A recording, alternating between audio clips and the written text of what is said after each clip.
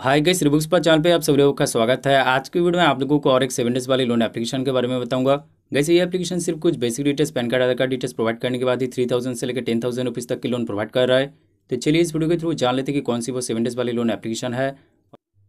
और इस एप्लीकेशन की लोन प्रोसेस क्या है और इस एप्लीकेशन की तरफ़ से कितना तक की इंटरेस्ट रेट और सर्विस लिया जाता है और ये एप्लीकेशन लोन के लिए सेव एप्लीकेशन है कि नहीं? और कैसे अगर आप लोग इस एप्लीकेशन पर लोन लेंगे तो क्या क्या प्रॉब्लम का सामना करना होगा? और गई साथ ही साथ इस वीडियो का लास्ट में आप लोगों को मैं बताऊँगा कि सेवन डेज़ वाले लोन एप्लीकेशन पे लोन लेने का सेफ़ तरीका क्या है। तो गई ज़रूर वीडियो को आप लोग इन तक देखिएगा और गई अगर कोई चैनल पे नए विज़िट करें तो चैनल को सब्सक्राइब कीजिए और साथ ही साथ बेलाइकन पर पेश कीजिए ताकि जब भी मैं कोई वीडियो अपलोड करूँ, सबसे पहले आप लोगों को नोटिफिकेशन मिलता रहे। तो गई चलिए आज की वीडियो शुरू करते हैं। तो गई जी सेवन डेज़ वाले लोन एप्लीकेशन का नेम है इजी लोन इस वीडियो का डिस्क्रिप्शन पे मेरा टेलीग्राम चैनल का लिंक दिखने को मिल जाएगा। जाके मेरा टेलीग्राम चैनल को ज्वाइन कीजिए। टेलीग्राम चैनल पे इस एप्लीकेशन की लिंक दिखने को मिल जाएगा। तो अगर चलिए पहले इस एप्लीकेशन के लोन प्रोसेस के बारे में बात कर लेते तो इस एप्लीकेशन को डाउनलोड करके जब आप लोग ओपन करेंगे तो पहले इंटरफेस आएगा लॉगिन का। लॉगिन करने के बाद आप लोगों को कुछ बेसिक डिटेल्स फिल करना होगा। बेसिक डिटेल्स फिल करने के बाद प्रोवाइड करना होगा KYC documents. KYC documents provide करने के बाद प्रोवाइड करना होगा emergency contact number.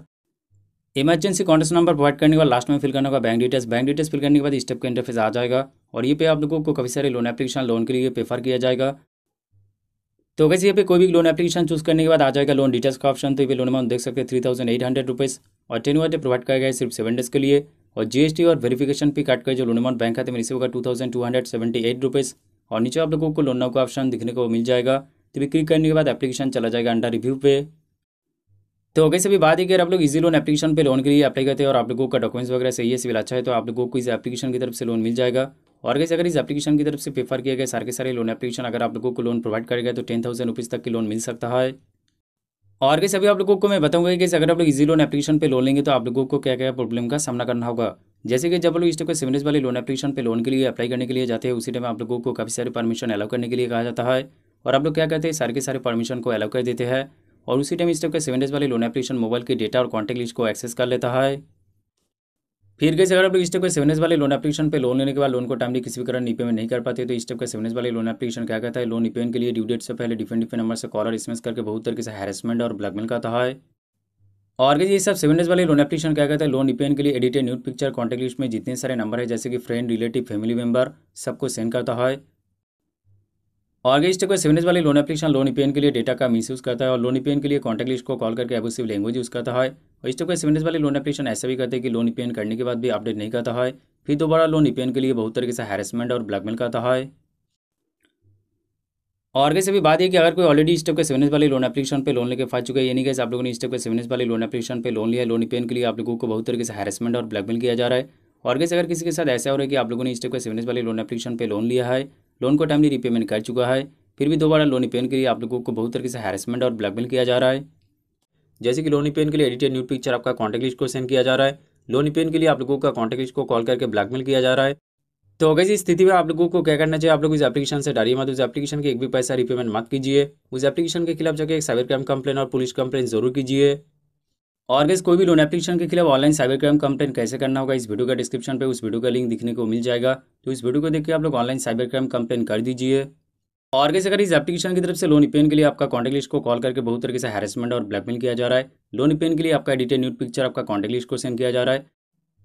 तो वैसे स्थिति में आप लोगों को क्या करना चाहिए, आप जो भी सोशल मीडिया अकाउंट यूज़ करते हैं, वहाँ पे एक स्टेटस और स्टोरी डाल दीजिए और बोल दीजिए कि मेरे साथ लोन का नाम स्कैम हो चुका है। अगर लोन पेमेंट के रिलेटेड किसी भी तरह की कॉल और एसएमएस आए और मेरा कोई एडिटेड न्यूड पिक्चर सेंड किया जाए तो आप लोग इग्नोर करें। और साथ ही साथ जो भी नंबर से कॉल और एसएमएस आएगा, सीधा जाके उस नंबर को ब्लॉक कर दीजिए। और कई साथ ही साथ आप लोग ऐसा कीजिए कि साइबर क्राइम कंप्लेन करने के बाद एक कंप्लेन कॉपी मिल जाएगा। उस कंप्लेन कॉपी को आप जो भी सोशल मीडिया अकाउंट यूज़ करते हैं, जैसे कि अगर आप लोग फेसबुक यूज़ करते हैं तो फेसबुक स्टोरी पे डाल दीजिए। अगर आप लोग व्हाट्सअप यूज़ करते हैं तो व्हाट्सअप स्टेटस पे डाल दीजिए। तो इससे क्या होगा, आपका कॉन्टेक्ट लिस्ट में जितने सारे नंबर होगा, सबको ट्रस्ट होगा कि सच में आपके साथ लोन के नाम स्कैम हुआ है। और कैसे अगर इस एप्लीकेशन की तरफ़ से लोन पेन के लिए आप लोगों को कॉलर स्मेस करके बहुत तरीके से हैरेसमेंट और ब्लैकमेल किया जा रहा है तो इस स्थिति में आप लोगों को क्या करना चाहिए? इस एप्लीकेशन की तरफ़ से लोन पेन के लिए जो भी कॉलर स्मेस आएगा, आप लोग एक भी कॉलर स्मेस का रिस्पॉन्स ना करें और साथ ही साथ जो भी नंबर से कॉलर स्मेस आएगा, सीधा जाके उस नंबर को ब्लॉक कर दीजिए।